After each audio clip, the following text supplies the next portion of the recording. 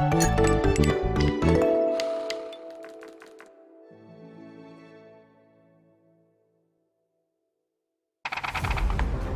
千五百年前的古人如何演绎神秘的北斗星？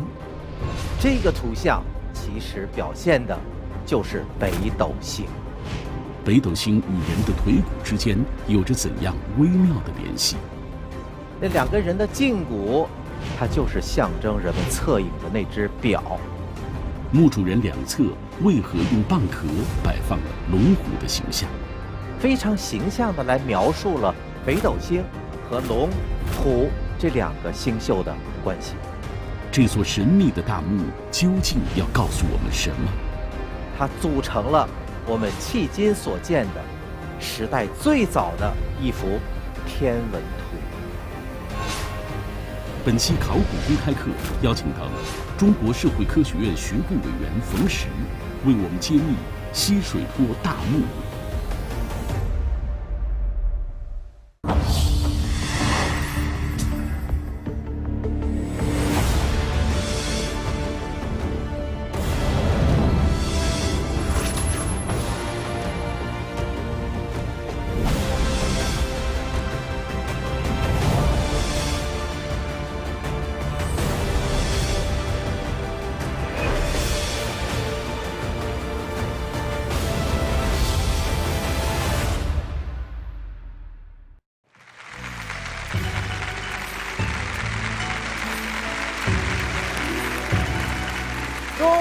文明源远流长，切磋琢磨，考古论今。观众朋友，大家好！您现在收看的是大型考古历史文化类节目《考古公开课》，我是陈志峰。参加我们今天考古公开课的有我们面向社会招募的六位考古学员，欢迎你们！还有来自社会各界的喜爱考古的朋友们，也欢迎大家。我们常说呀，中华文明上下五千年，但是中华民族的图腾文化却不只是五千年呐。我们先来看一个短片。一九八八年是二十世纪的最后一个龙年，就在这个龙年的前一年，河南濮阳西水坡发现了一座距今六千五百年前的大墓。古墓东西宽三米，南北长四米左右，深只有半米。在这座古墓内埋着四个人，其中最引人瞩目的是位于墓室正中的一具尸骨。尸骨左右两侧竟然分别有一组用蚌壳精心摆塑的龙和虎的形象，尤其是在尸骨右侧那条长一米八左右的蚌龙图像，更是引人瞩目。摆塑这条龙所用的蚌壳都是经过精心挑选的，用最圆的蚌壳做龙的眼睛，用形状尖尖的蚌壳做龙的爪和牙。龙舌头选用的是椭圆形的、打磨光滑的蚌壳。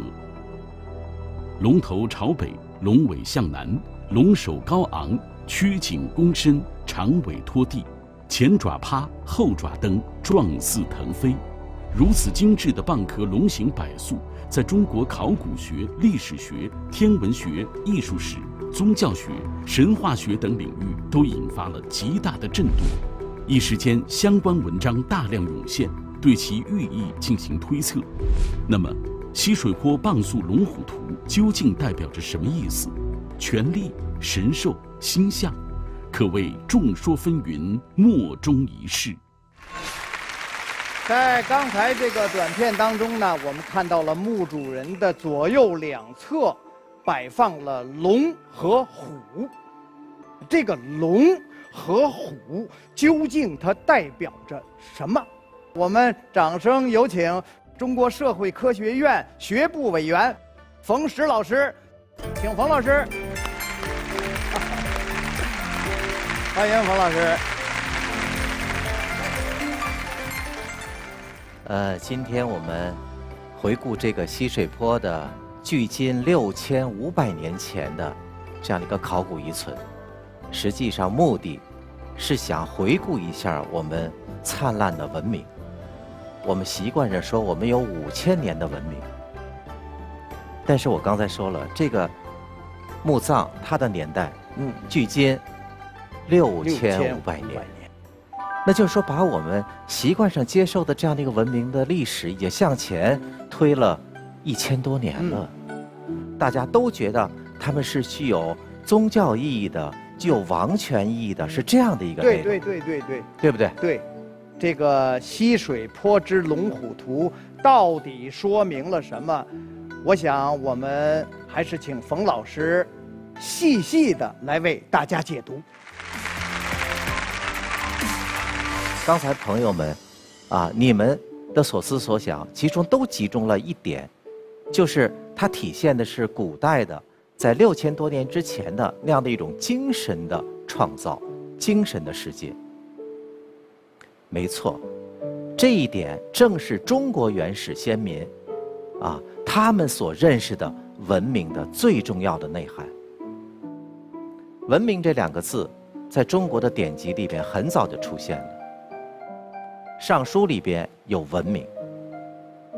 古人讲“俊者文明，温公允色”。《周易》的《易传》里边有文明。古人讲：“现龙在田，天下文明。”那我们的先民所讲的这个文明，它到底是什么意思呢？实际是我们人自己的一种心斋。我们修养自己的内心，使我们的内心具有了道德，然后呈现出来的。人的那样的一种道德的精神，所以我们在中国古代的那些典籍里边，可以看到先贤们有这样的一种认知：鹦鹉能言，不离飞鸟；猩猩能言，不离禽兽。今人而无礼，谁能言不以禽兽之心乎？也就是说，如果我们作为一个人，我们不修养道德，不懂得礼仪，我们不是仍然怀有的是一颗禽兽之心吗？这就是中国古人去定义文明的最核心的思考。我们都读过《大学》，里边有这样的思想：说中国古代的这个先民呀，要格物致知。通过格物的方式，然后认知世界。这句话我们今天说，那实际上就是通过对自然万物的观察分析，获得知识。所以我们用一句话来说，中国文化的特点，那就是一种追求真理的文化。这就回到中国文化的原点了。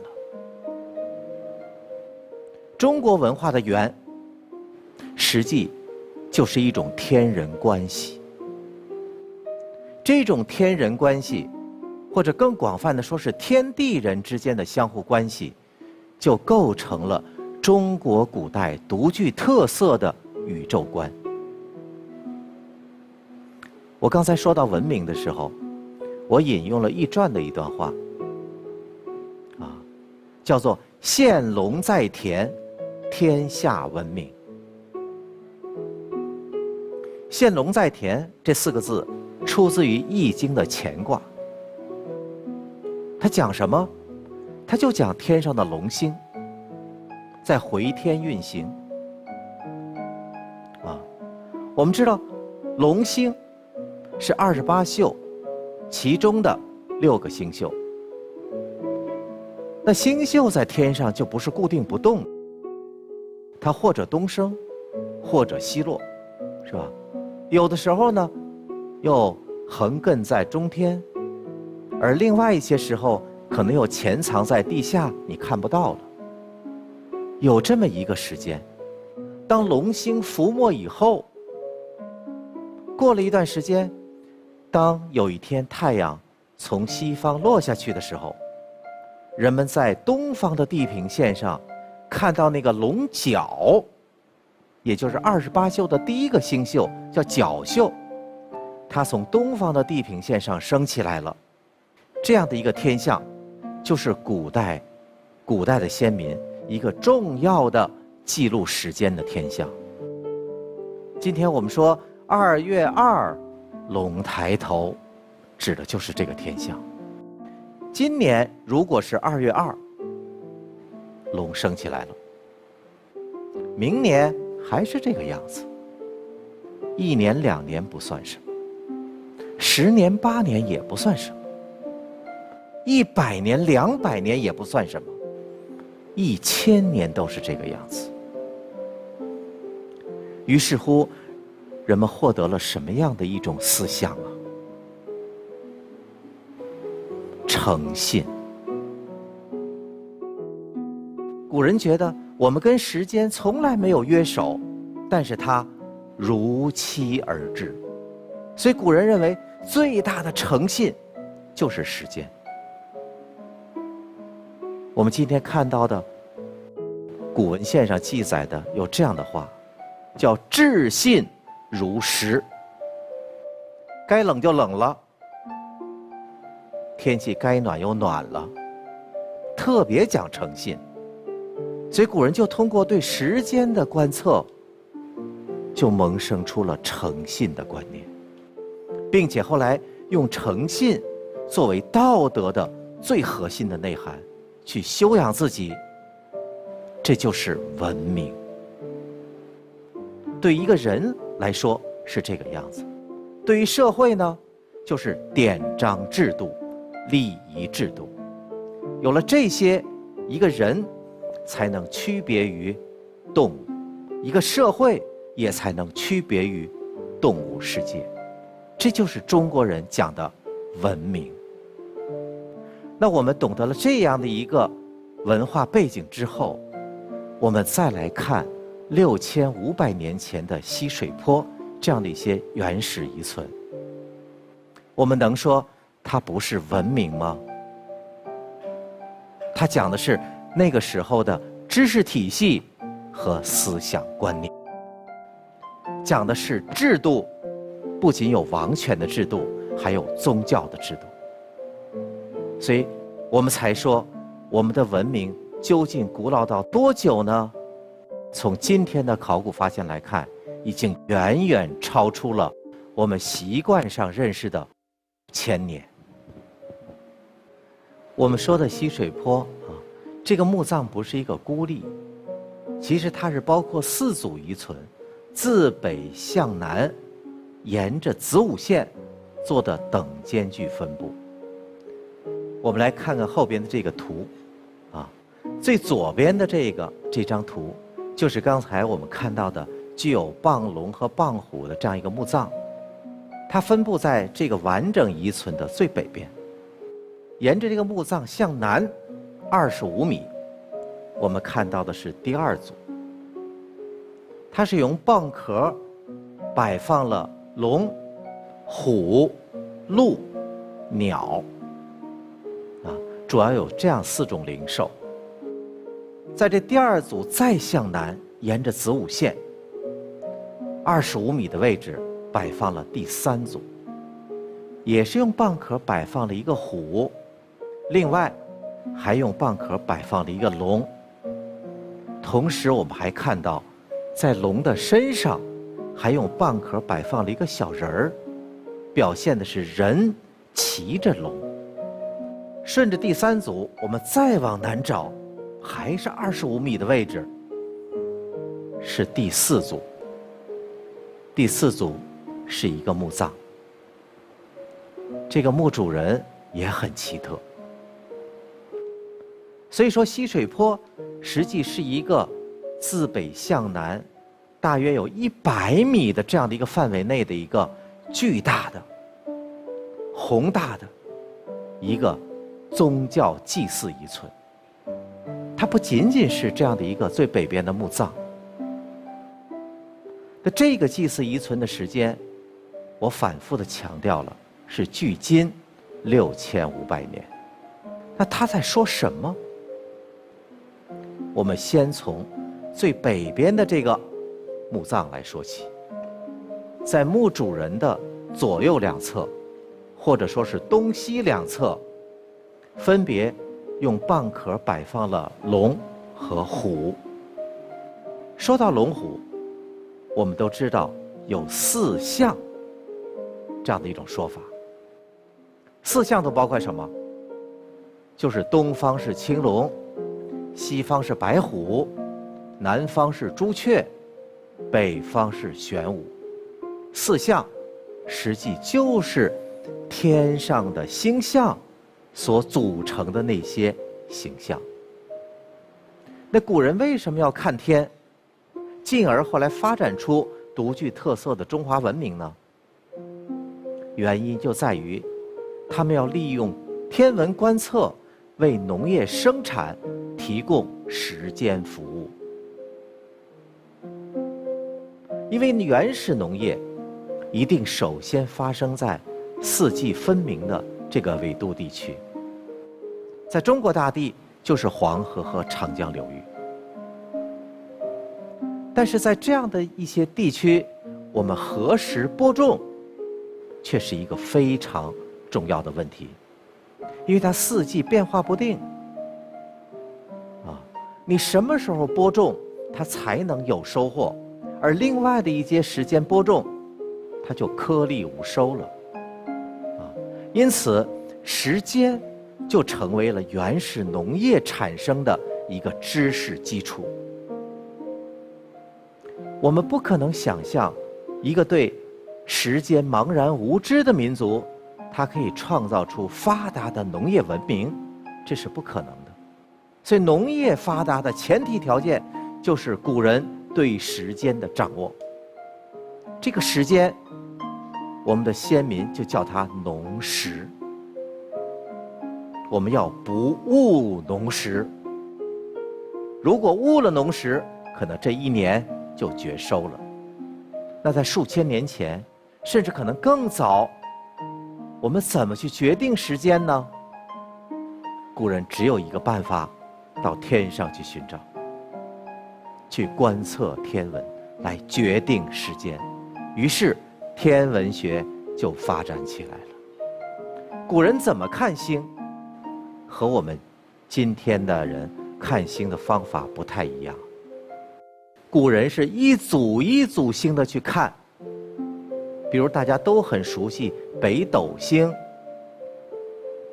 北斗星是由几颗星组成的呀？七颗星。它组成了一个什么样子呢？一个斗。于是古人给它一个名字叫斗。它不是一个，它是一组星组成这么一个样子。青龙、白虎、朱雀、玄武也是这个意思。他们在天上有不同的星星组成了不同的图像，于是人们去观测它，就形成了所谓的四象。这样的一种观星方法。中国古人就叫做天文。什么叫天文呢？这两个字怎么理解呀？啊，我们把它朴素的说出来，就是天上的图像。那个纹就是纹样的意思，是图像的意思。今天我们在西水坡的这个墓葬里边看到了有龙有虎，那难道？它就是中国原始文明中的那个四象体系中的两个象吗？当然，我们只凭龙虎不能够下这个结论。我们来寻找一下，在这个墓葬里边还有没有足以帮助我们去进一步探索、来揭开这个谜的线索呢？我们看看这张图。在墓主人的东西两侧，除了龙虎之外，墓主人的脚下还有一个图像。这个图像和龙虎它的构图不太一样，一部分是用蚌壳来摆，而在这个蚌壳的东部，东侧，人们特意配了两根人的胫骨、小腿骨。那这个图像是什么？我们认为，这个图像其实表现的就是北斗星。这个图像对于揭示西水坡这个大墓所有的这个文化的内涵，具有关键的意义。谢谢。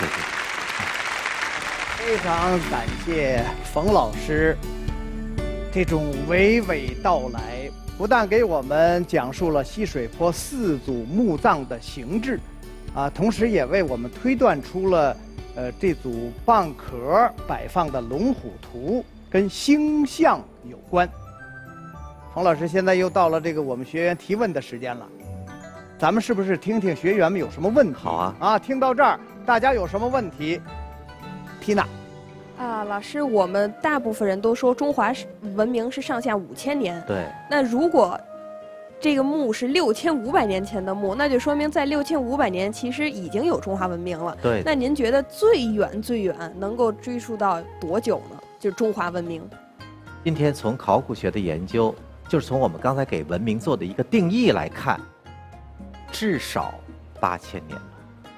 如果从天文学作为农业生产的基础这一点考虑，一万年以前，因为我们现在已经发现了一万年前的原始农业了，这意味着那个时代、那个时候人们对天文、对时间一定有所掌握了。我也有个问题想问问您，嗯，啊，就是呃，您推断的这个蚌壳摆放的龙虎图，这个推断的证据是什么呢？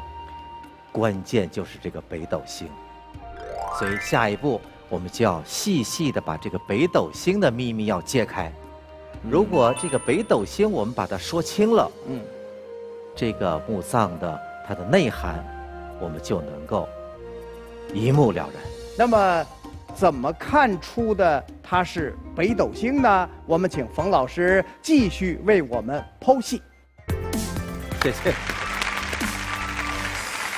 我们刚才说了，对于这个原始宗教遗存，它关键的那个遗迹就是这个北斗星。现在这个墓葬，上边是南，下边是北，大家的左侧是东，右侧是西。墓主人葬在中间，他的东侧是龙，他的西侧是虎。它的脚下的北侧有一个图像，我们现在推断它是北斗星。为什么说它是北斗星？有这样的一些考虑：第一，它形象上就很像，用蚌壳摆放的那个部分是一个斗勺，用两根人腿骨摆放的那个部分表现的是斗柄，它很像一个勺子。当然。我们只从形象上认定它是北斗，这远远不够。那么第二点，如果它是个北斗星，那么北斗星就和天上的龙星和虎星就具有了一个固定的栓记关系，它的位置是相对不动的。因为我们都知道，天上的北斗啊，还有二十八宿啊，这都属于叫恒星。恒星虽然有自行，但是非常缓慢。大家如果看这个星图的话，可以看到中央有一个北斗星，对吧？然后你们就顺着这个北斗星的勺柄，你就向上去找，你就会找到了二十八宿的角宿。然后顺着再往下来数，角亢底房心尾，这六个宿。组成的就是龙的形状，这就是我们刚才说的中国古代那个四象中的龙它的原型。然后我们再看北斗星，那个斗勺的四颗星，你顺着那个斗勺的四颗星往前去找，你就会找到资宿和申宿两个宿。这资和申这两个宿组成的那个图像就是虎。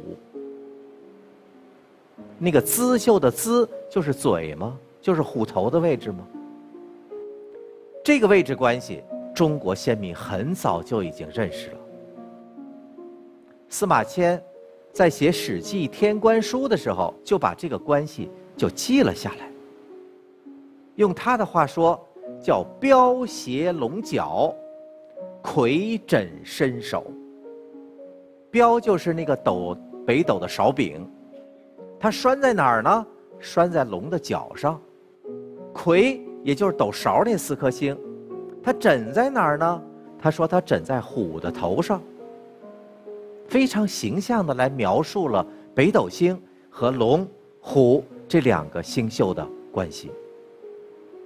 那我们知道了这样的一种天文的星象关系之后，再来看它，你就会发现，如果它是个北斗星的话，那两个人的胫骨就是那个北斗的斗柄的象征，是吧？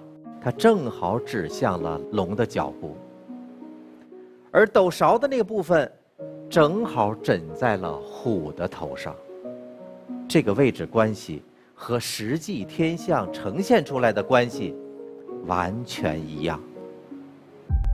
说到这儿，我们是不是就可以得出一个结论：墓主人脚下的这个图像表现的就是北斗星呢？似乎还不够充分，大家一定会有疑问：如果这个图像是北斗星的话，那么？为什么北斗星的一部分用蚌壳来摆，而另外一部分却用两根人的胫骨呢？这两根人的胫骨又代表着什么意思呢？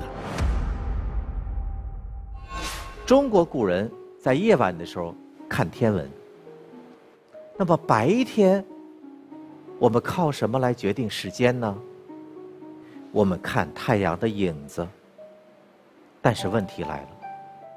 最早人们认识的影子是谁的影子呀？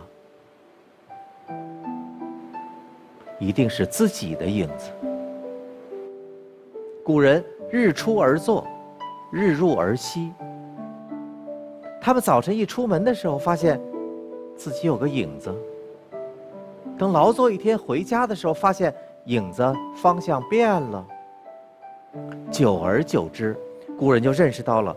影子的变化，实际就预示着时间的变化。也就是说，人体在作为一个生物体的同时，它还充当了最早的测影工具。但是，随着天文学的发展，天文观测要逐渐的精确化，它的要求也是要精确化。我所说的精确化是要争那个毫厘之间的变化。那人体测影是达不到这个精度的。于是乎，古人为了适应天文观测的精确化，就要重新创造出一种观测仪器，这就是表，就是我说的立表测影的一个表。那好。能够支撑人体直立完成侧影的那个最关键的部位，叫什么？就是我们的腿。如果没有腿，人就瘫了，是不是？就无法完成侧影了。于是乎，古人就把腿骨的名称一用，作为了最原始的表的名称。那说到这儿，我们应该相信了，刚才。在这个墓葬里边，作为那个北斗的那两个人的胫骨，实际它是什么的象征呢？它就是象征人们测影的那只表。那这样子的话，我们就知道了，那个北斗星，一部分用蚌壳来摆，一部分用人的腿骨来摆，实际上是把人们夜晚的时候去看北斗星来定时间。以及白天立表测影来定时间，这两种方法怎么样？把它结合了，于是就创造出这样的一个非常独特的北斗星的造型。分析到这儿，我们现在有足够的底气来下这个结论了。在墓主人脚下的这个图案，实际表现的就是北斗星。那如果它是北斗星的话，和它同时存在的龙虎，它的性质应该是什么呀？就一定是天上的星象。所以我们就可以得出这样的一个结论：西水坡这个大墓里边所摆放的龙虎和脚下的北斗，它组成了我们迄今所见的时代最早的一幅天文图。它的时间是在六千五百年以前。分析到这儿，可能各位朋友还有一些不足，说是如果我们能找到一个和它完全一样的东西，比较一下，或许可能更有说服力，对吧？好，我们真的有这样的证据。这个图像，它是发现在湖北随州曾侯乙墓里边的一个漆箱。在这个漆箱的盖面上，古人绘了一幅星象图。这幅天文图主要有哪些内容呢？我们看得很清楚，中央的那个写的变来变去的，那是什么字呀？那实际就是篆书的“斗”字，在“斗”字的周围，用文字写了一圈二十八宿的名字，所以我们。可以非常清楚的知道，这是一幅天文图。它又有北斗，又有二十八宿，都用文字写在这儿了。我们还能有怀疑的吗？没有。曾侯乙和西水坡这两者可相差了四千年呢，他仍然是强调这个东西，完全不必要怀疑了。这样，我们就把西水坡这个大墓。它其中摆放的这些龙虎和北斗，它组成的这样的一个意义，啊，把它揭示出来了。啊，它实际展现给我们的是六千五百年前那个时候的先民所创造出来的一幅天文图，证明那个时候的先民已经对天象有了非常精细的了解。谢谢。非常感谢冯老师这番精彩的讲述。您的这番讲述让我们不仅了解了西水坡这座墓葬，我们更能感受到一种心灵的震撼。震撼什么呢？我们的祖先在六千五百多年前，啊，就学会了看天象，而且呢，还有了或者说建立了一套。天文观测的一套理论，这个实在是太伟大了。就您讲的时候啊，我也听得聚精会神。我看大家听的，有的跟您虽然没有语言的互动，但是他们有肢体的互动，他们在频频的点头，啊，真的听进去了。啊，那么现在呢，我想大家可能特别学员，啊，可能他们又有问题要提了，是不是让他们也提提啊？好，好，小许，你说。主持人好，老师好。您说到第二组祖墓的时候，那个墓葬的时候，您有说它跟纯就是我们现在知道的四象有区别的，它下边是有一个鹿，然后我就想问，它这个鹿的背后到底蕴含着有什么？就是说中华文明它的那个文明的秘密呢？我们都知道四象的那个北宫是玄武，对吧？但是玄武的这个这个象，今天我们从考古学去看，最早不早于战国，战国以前没有玄武。战国以前的时候，那北宫是什么呢？就是个鹿，或者叫麒麟。除了棒宿龙虎图案和北斗星之外，墓主人的身边还摆放了三具形态各异的尸骨。那么，这三具尸骨究竟是何许人？他们又有着怎样的寓意呢？请继续收看《考古公开课：西水坡大墓》。我们非常感谢冯老师啊，让我们知道了这个棒宿龙虎形象的用途究竟是什么，啊，其实它就代表了星象，啊，但是还有一个问题没有解决呀，大家也可能注意到了，这座墓葬当中啊，除了中间的墓主人以外，它还有其他的三具尸骨，啊，这三具尸骨究竟是何许人也呢？我们请冯老师。继续为我们讲述。谢谢谢谢。我们见过很多古代的墓葬呢，但是是这样的一种造型的墓葬非常少，几乎没有。它的特点是什么？首先，现在咱们把东西南北搞清楚，上边是南，下边是北，左边是东，右边是西，跟我们今天的方位正好调了一百八十度。那么在南边，它表现的是圆曲的形状。而在北边呢，表现的是方正的形状，也就是一边是圆的，一边是方的。我们想到了什么？对中国古代有一个宇宙论，叫盖天说，就是天是圆的，地是方的。如果我们用南北来表示天地，中国古人习惯用南来表示天。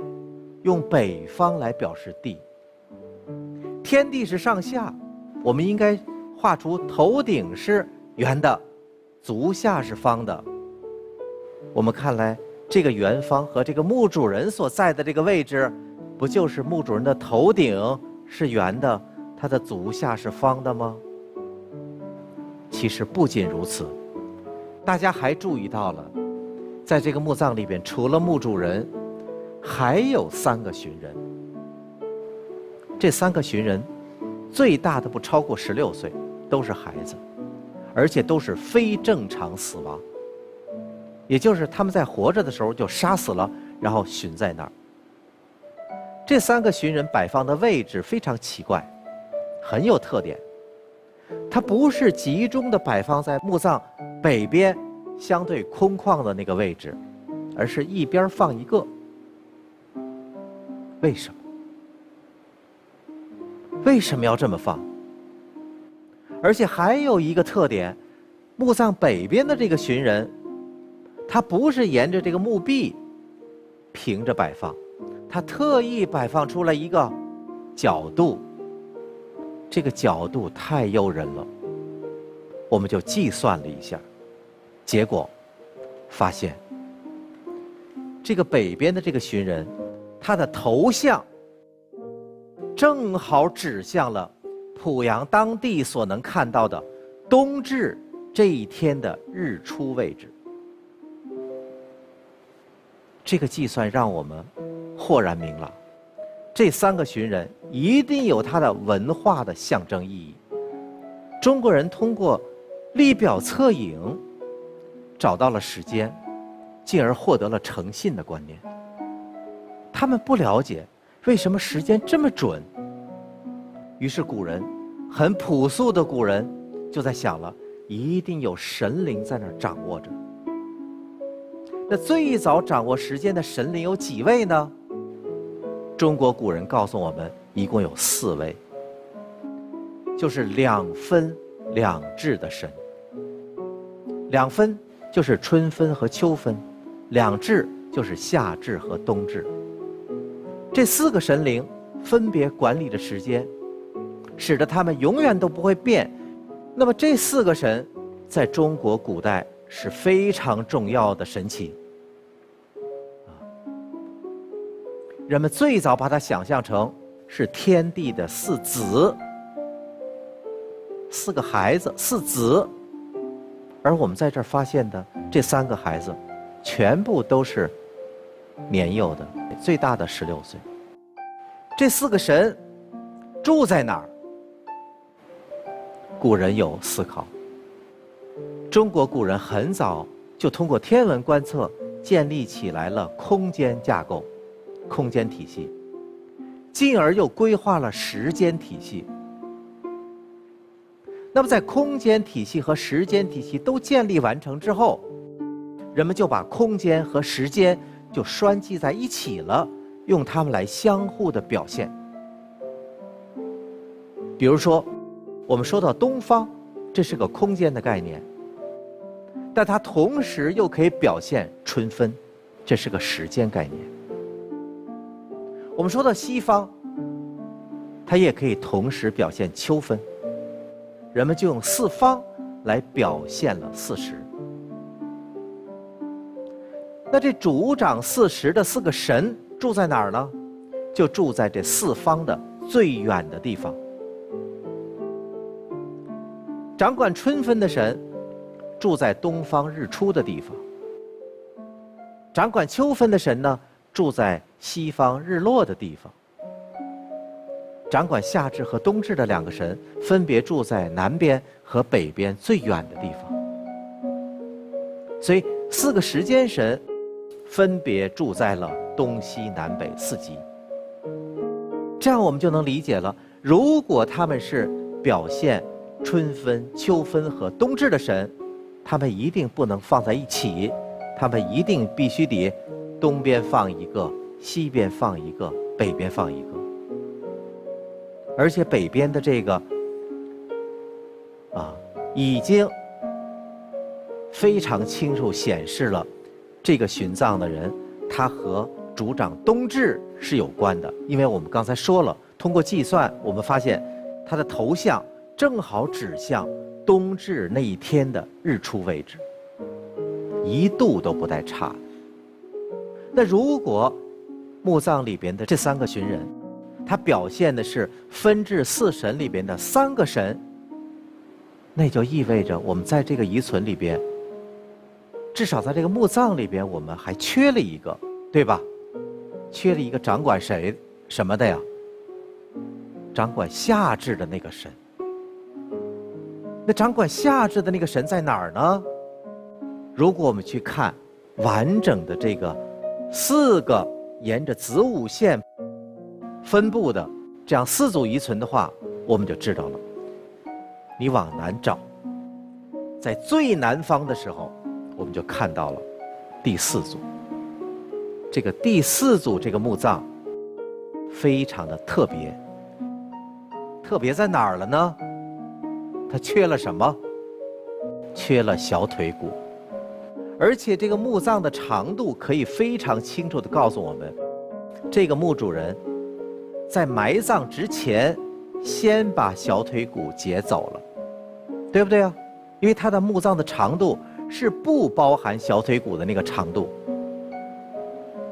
那我们就要问了，这两只腿骨哪儿去了？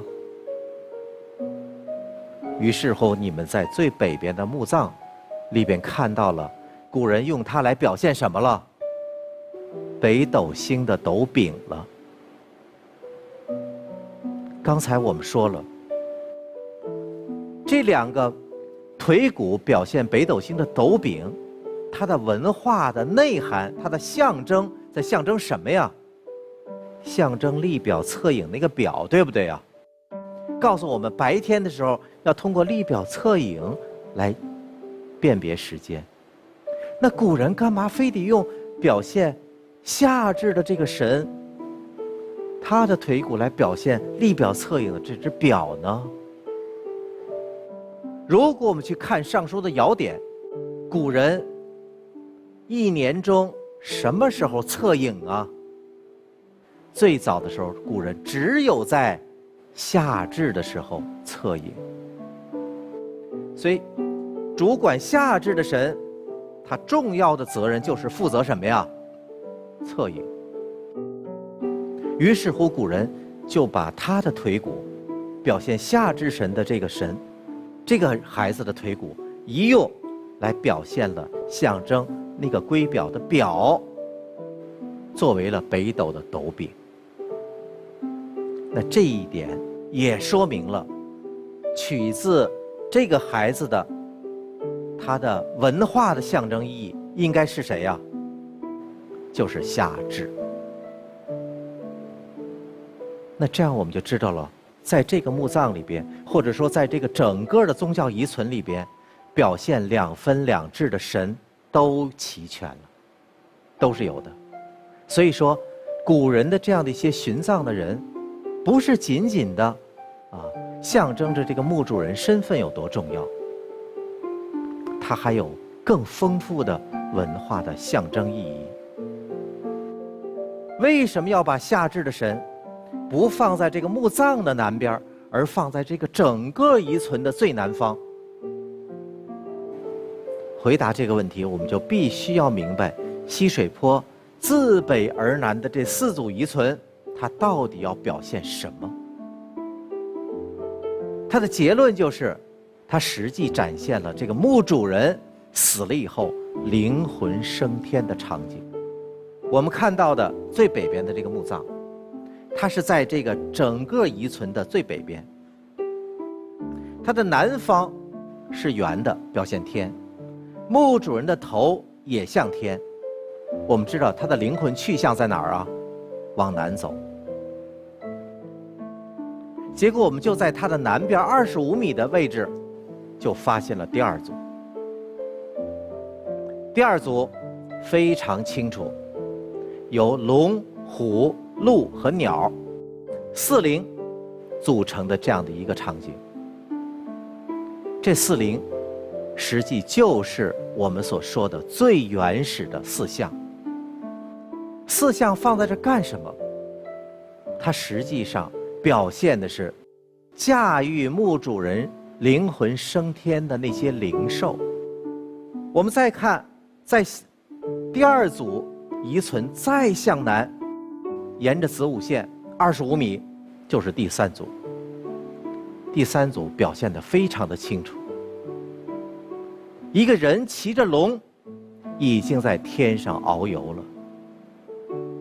所以在这个意义上说，最北边的这个墓葬，一直到第三组，这是一个整体。如果我们想表现夏至神，就只能把夏至神放在这个整体的南边，而不能放在它的中间。如果放在中间，就把墓主人升天的路怎么样？就堵住了。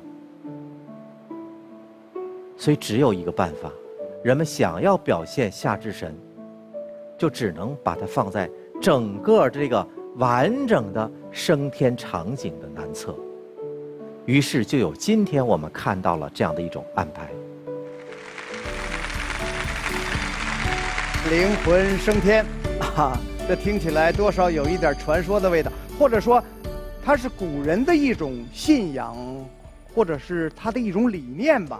但是，它从一个侧面也反映出了，或者说代表了古人对天的崇拜的这种理念，是吧？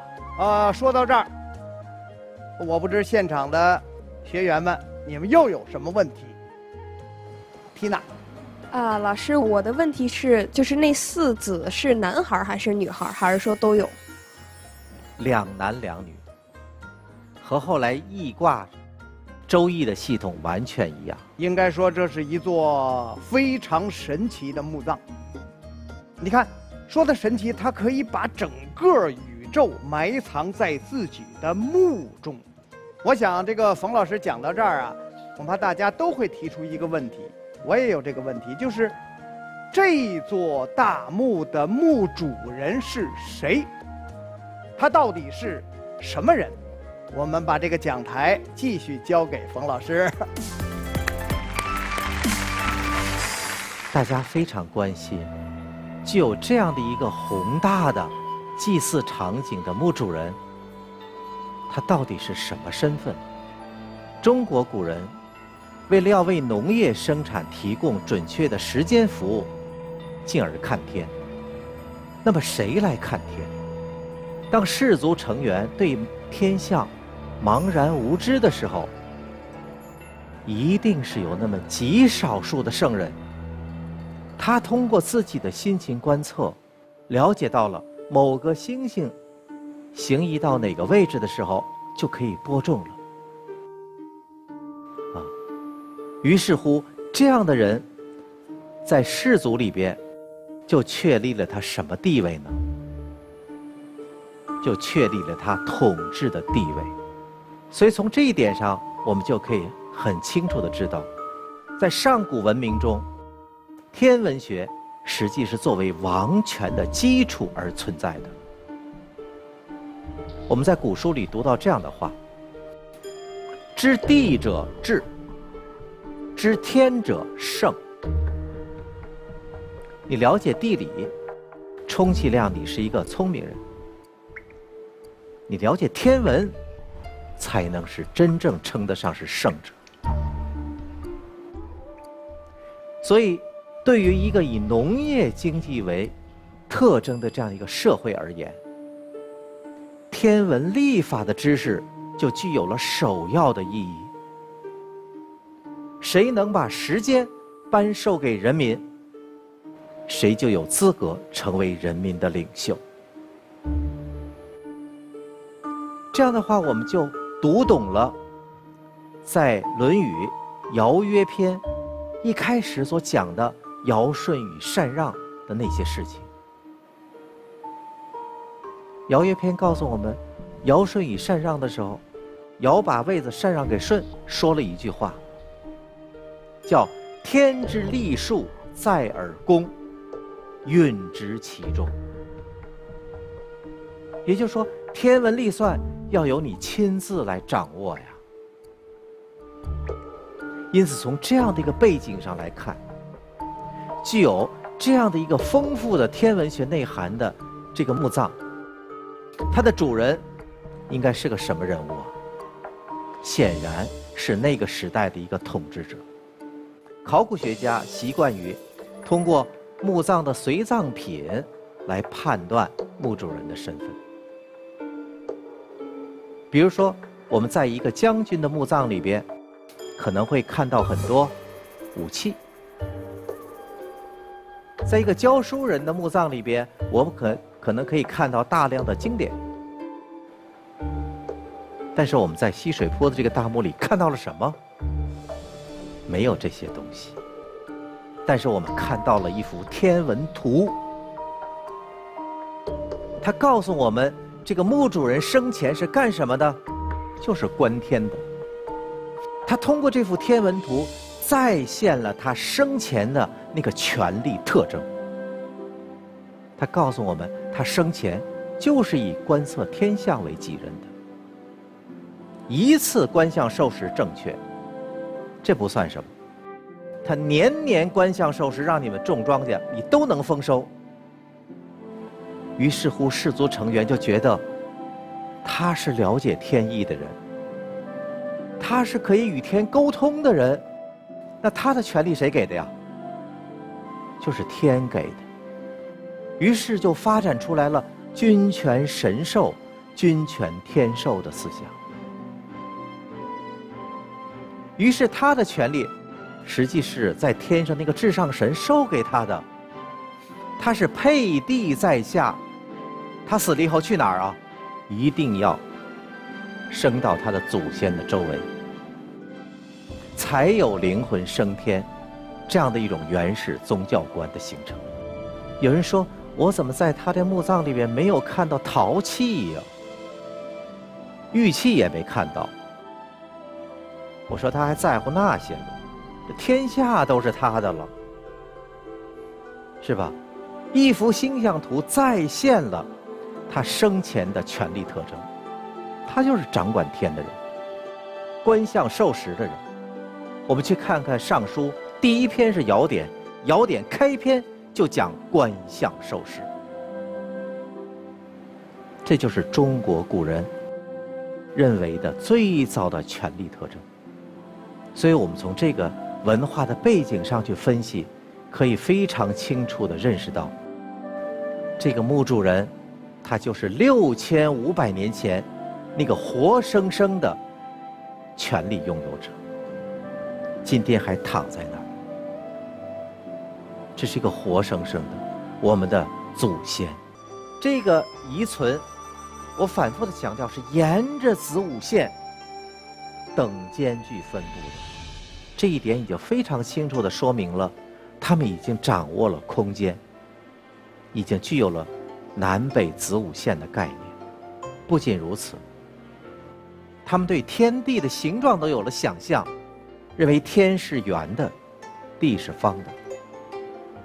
还有更精确的一些规划，他们已经有了王权，有了原始宗教，有了分治四神这样的原始宗教思想。